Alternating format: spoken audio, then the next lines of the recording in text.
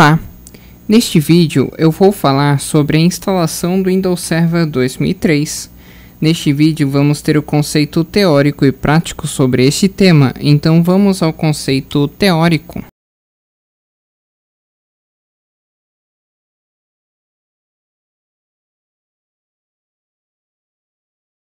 Conceito teórico do Windows Server 2003. Esta é uma tela print do Windows Server 2003, no caso do print R2. Sobre Lançado pela Microsoft em 24 de abril de 2003, o Microsoft Windows Server 2003, também conhecido como W2K3 ou simplesmente Windows 2003, é um sistema operacional da Microsoft de rede desenvolvido como sucessor do Windows 2000 Server. É também conhecido como Windows NT 5.2 e era nada mais do que o Windows XP reformulado. No seu núcleo está uma versão do Windows XP com algumas funções desligadas para permitir um funcionamento mais estável do sistema. Tal como o Windows 2000, este apresenta o Active Directory como principal ferramenta para administração de domínios é um sistema utilizado estritamente em redes de computadores. Windows Server 2003 da Microsoft trouxe novas melhorias aos serviços de rede e ao Active Directory, que agora implementa mais funcionalidades em relação ao Windows 2000 Server. Por que ainda usar? Estabilidade, consumo baixo de recursos, sem efeitos gráficos que obviamente aumentam o consumo de recursos do sistema, é reconhecido pela maioria dos servidores com hardware antigo, sendo que drivers o sistema instala automaticamente. Características técnicas: Windows Server 2003 com Service Pack 2 SP2 Enterprise Edition suporta até 64 GB de memória RAM e 2 TB de RAM em 64 bits. Mínimo de 512 MB de RAM e 25 GB de HD. Recomenda-se processador de no mínimo 800 MHz ou superior para melhor desempenho do sistema. Finalizando o Windows Server 2003 ainda é ainda usado em empresas de pequeno e médio porte. Ainda podemos baixar e instalar o sistema para estudos de novas ferramentas e estudar as funcionalidades do sistema que mais se adequa a diversos cenários de montagem, manutenção, instalação e configuração do sistema Windows Server 2003 Enterprise Edition. Página de, de referências então temos as compare as edições do Microsoft.com. Compare as versões Windows Server 2003 Enterprise Edition, Microsoft.com, Windows Server 2003. Uh, ah, temos também o link miguelgarcia.unisul.br, gerência de memórias RAM em computadores com mais de 4 GB, limites de memória 32 é, GB ou melhor, 32 bits versus 64 bits do blogs.tecnet.com, wikipedia.org, Windows Server 2003, Wikipedia Enciclopédia Livre e conheça o Windows Server 2008 da Microsoft.com. No caso, Microsoft Windows 2008 ajuda você a aumentar a flexibilidade de sua infraestrutura de servidores, economizando tempo e reduzindo custos. Finalizando então, vamos ao conceito prático da instalação do Windows Server 2003. Então vamos ao conceito prático.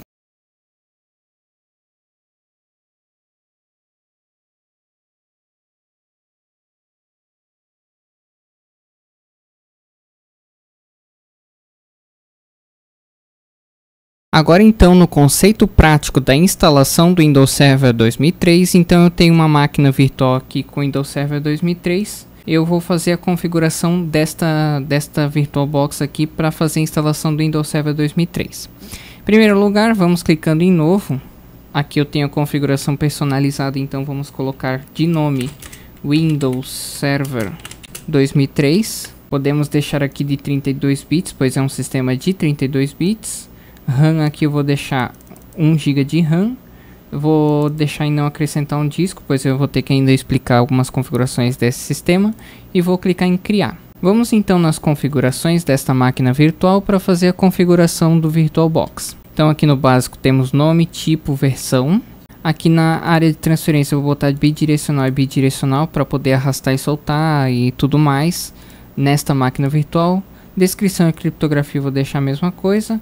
Aqui ordem de boot eu vou dar boot então primeiro pelo disco óptico, que no caso é a ISO do Windows Server 2003, e depois pelo disco rígido. Vou colocar o dispositivo apontador mouse É, não vou precisar habilitar, ou melhor, é, vamos habilitar o Peak para fazer a configuração deste Windows Server 2003. Processador, é, vamos deixar assim mesmo, configurações dele e tudo mais, ok.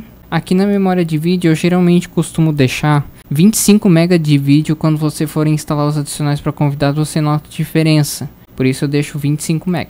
Tela remota não precisa configurar de momento e a captura de vídeo também não. Armazenamento, vamos tirar isso aqui e vamos colocar uma controladora IDE Vou adicionar também, vou criar um novo disco. Pode ser aqui de 50 GB, não tem problema. Ele vai ser dinamicamente alocado, ou seja, ele vai ter um valor variável, mas eu vou deixar o máximo de 50 GB. E vou colocar aqui o Windows Server 2003 e vou criar. Também vou deixar uma ISO do, do Windows, vou pegar essa ISO agora Aqui eu peguei a ISO do Windows Server 2003. No áudio deixamos aqui a ICHC97, pois é uma controladora de áudio para Windows XP, Vista e sistemas mais antigos, como é o caso. Na rede, a gente pode colocar, no caso de servidor, que no caso é o Windows Server 2003, dá para colocar Intel Pro barra 1000T Server. Só que no Windows XP para baixo, o ideal é mesmo é colocar PCNet Fast 3. Vou deixar então a Pro Mute Server e vou colocar a placa em modo bridge. No caso que eu vou permitir tudo, vou trocar endereço MAC. Ou melhor, não vou deixar em modo bridge não, para não confundir vocês. Mas assim, se vocês quiserem visualizar as pastas dessa máquina virtual ou que essa máquina virtual esteja na mesma rede ou em, enfim, que vocês queiram visualizar os outros computadores, entre outras configurações, aí deixa a placa em modo bridge e no caso, se tiver o DHCP habilitado na rede, você deixa o DHCP habilitado e pega as configurações de IP do DHCP.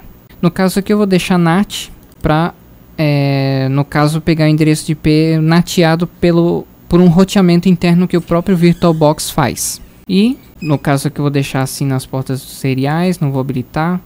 USB podemos deixar assim. Pasta compartilhada, não vou precisar compartilhar né, de momento e vou exibir a barrinha no topo da tela. Vou dar OK aqui nas configurações e vou inicializar a máquina virtual para começar a instalação do Windows Server 2003. Ele vai inicializar, no caso da ISO, ele vai inicializar pela ISO. Se fosse um DVD ou um CD, ele inicializaria no CD ou DVD, nessa configuração. Agora, só esperar ele continuar aqui a instalação. O início da instalação é assim mesmo. Vamos então esperar que ele carregue os arquivos e inicie a instalação. Muito bem.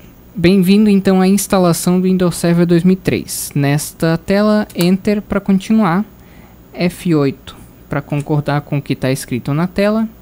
No caso aqui eu tenho um espaço não particionado, só se for o caso, se quiser particionar e tudo mais, tem que clicar em C e fazer a criação de uma partição. No caso não vai ser necessário, eu posso simplesmente dar Enter e fazer a instalação da, do sistema. Posso fazer o particionamento automático no caso. Então vou fazer o automático mesmo, que é para facilitar aqui a explicação da instalação. Então Enter, aqui eu posso formatar a partição, é, no caso utilizando o sistema de arquivos NTFS rápido e o NTFS normal, o normal vai levar muito tempo para formatar. O rápido já faz a formatação mais rápida. E Enter, continuar. Ele vai fazer então a formatação deste HD e vai prosseguir com a instalação. Veja como a instalação, a formatação dele é mais rápida se selecionar o modo rápido.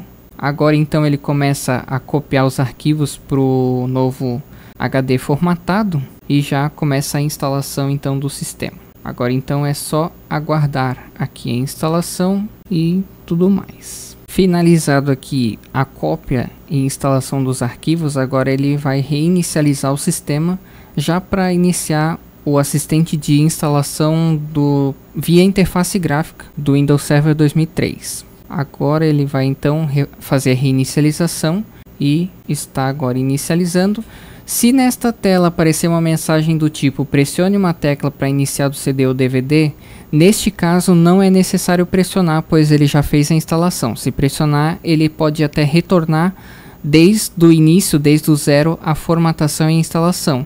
Então nesta tela não precisa, só precisa quando for é, dar boot no sistema e que pedir para inicializar do CD ou DVD. Aí sim é necessário, se não, não. Senão nessa segunda etapa aqui não precisa. Agora ele segue então a instalação agora em modo gráfico. Vai apresentar alguns, algumas imagens, algumas coisas e é só aguardar. Agora então nesta tela para prosseguir a instalação em modo gráfico, a gente tem aqui então a personalização, que a gente pode personalizar o idioma nesta configuração. Temos também a adição de idiomas que são não são padrões de instalação, então pode se adicionar aqui também e fazer as configurações. E também temos aqui em detalhes, se marcar a opção detalhes, temos também aqui a opção de colocar o layout padrão do teclado, que no caso aqui é o português do Brasil, posso até remover o padrão inglês, deixar só o português, aplica e ok. E também é, depois de fazer essa configuração, só clicar em avançar. Neste momento, digitar um nome. O nome pode ser um nome qualquer. E no caso organização também pode ser um nome qualquer. Pode até ser o nome de uma empresa, o nome de uma pessoa, enfim, qualquer coisa. Aqui no caso vou botar as iniciais só do meu nome, que não vai ser necessário muita coisa. Feito isso, avançar. E nesta, neste momento é necessário digitar a chave de licença do, do sistema. No caso aqui eu vou então fazer a digitação da chave. Aqui então feita a digitação da chave, é só clicar em avançar que ele aceita a chave de licença. E aqui então temos duas opções. Para selecionar o modo de licenciamento, é, aqui temos a opção seleciona o modo de licenciamento desejado por servidor, no caso aqui ele vai estabelecer um número X de conexões simultâneas, é, se for digitado aqui, por exemplo, 9999, ele vai aceitar, ou por dispositivo ou por usuário. No caso, eu sempre fiz por, por, por servidor, mas eu recomendo que vocês também, é, se quiser marcar por dispositivo ou por usuário, é uma opção também prática se fazer também, mas eu vou deixar por enquanto aqui por servidor por, comodi é, por comodidade. Mas se você quiser é, colocar então por dispositivo ou por usuário, também é uma boa opção então para fazer a instalação do Windows Server dessa forma. E clicamos então em avançar. Aqui nesse caso é o nome do computador, que aqui ele colocou uma sopa de letrinhas, mas você pode colocar, por exemplo, servidor 2003, por exemplo, e colocar uma senha de administrador e repetir a senha logo embaixo e clicar em avançar. Feito isso, então temos aqui a data e hora, que pode ser ajustado aqui também, mas automaticamente eu recomendo que vocês façam a atualização da data e hora via um, servidor NTP, que é uma configuração que é necessário fazer para manter a hora do servidor atualizada, e também o fuso horário que automaticamente ele me selecionou aqui, que é o horário de Brasília. Ele também está marcado para ajustar o relógio automaticamente para o horário de verão. Quando chegar o horário de verão, ele atualiza automaticamente e clicamos em avançar. Se você já tiver uma placa de rede ativa e configurada, a partir deste momento ele já vai pegar todas as configurações da placa de rede e já vai fazer a configuração dela a partir de, desta tela.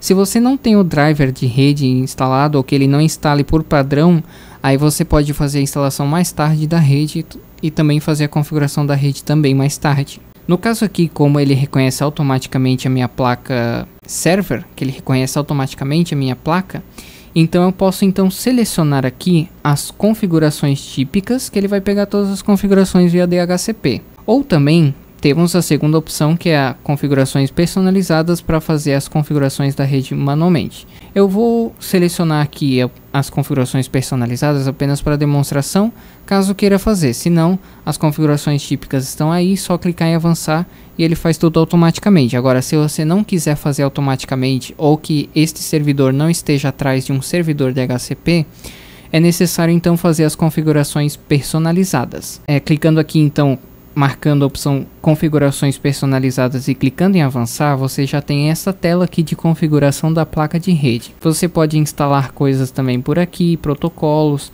No caso aqui eu recomendo fortemente que você instale o TCP/IP versão 6, por exemplo, pois o IPv6 está aí, né, pessoal? Então a gente pode fazer a instalação por aqui também do IPv6, configurar o protocolo TCP/IP por aqui, clicando em propriedades também fazendo a configuração dele. Como eu estou aqui por DHCP, eu não vou precisar fazer. Então eu dou OK aqui e clico em avançar. Aqui eu tenho a opção de, é, no caso, tornar este computador de uma rede. No caso aqui é o grupo de trabalho, né? Então eu posso digitar ali o nome do grupo, por exemplo aqui VG, ou então uh, tornar o computador mem membro do seguinte domínio. No caso, eu posso colocar esse Windows Server 2003 embaixo de um domínio. No caso de uma controlador, um controlador de domínio, um Active Directory, por exemplo. Como não é o caso, então vamos deixar ele no grupo de trabalho, que é a configuração padrão mais simples a se fazer.